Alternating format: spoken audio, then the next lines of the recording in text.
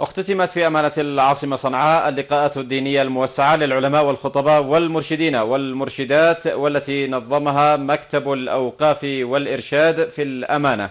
على مدى أسبوع في مديريات العاصمة تحت شعار معا للتصدي للعدوان وتحصين الجبهة الداخلية.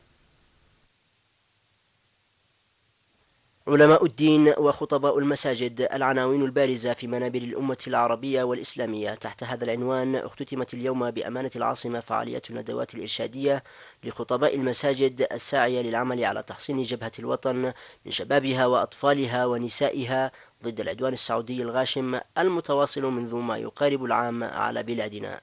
أيها العلماء أيها الخطباء أيتها المرشدات نحن اليوم في اللقاء الختامي للعلماء وللمرشدين ومعنا أيضا المرشدات الدينيات معا ضد العدوان وتحصين الجبهة الداخلية. نريد منكم جميعا أن تحصنوا المجتمع أن تحصنوا الناس أن تحصنوهم بثقافة الإسلام بثقافة القرآن.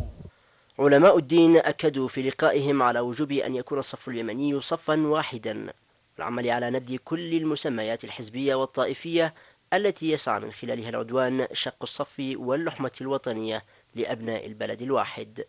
على جميع أفراد الشعب اليمني أن يكونوا أمة واحدة وأن يكونوا إخوة في صد العدوان وحماية البلد وبناء هذا الوطن لأنه أمانة في عنق كل شخص منا وأنه من لم يدافع عن اليمن فمعنى ذلك أنه يرتضي هدم اليمن.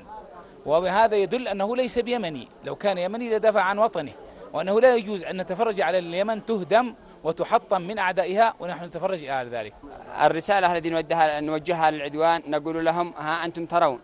خطباء اليمن ها أنتم تروا علماء اليمن ها أنتم تروا فصحاء اليمن ها أنتم تروا اليمنيين جميعا. سيقفون في وجوهكم سيقاتلونكم لن يرضوا عنكم لن يرضخوا لن يركعوا إلا لله سبحانه وتعالى. في نهاية الفعالية عبر الحاضرون عن امتنانهم لكل من يسعى إلى تنظيم مثل هذه الندوات الإرشادية من الجهات الرسمية في الدولة أو من المنظمات الأهلية الوطنية لما لها من أهمية في ترسيخ القيم الإسلامية الصحيحة.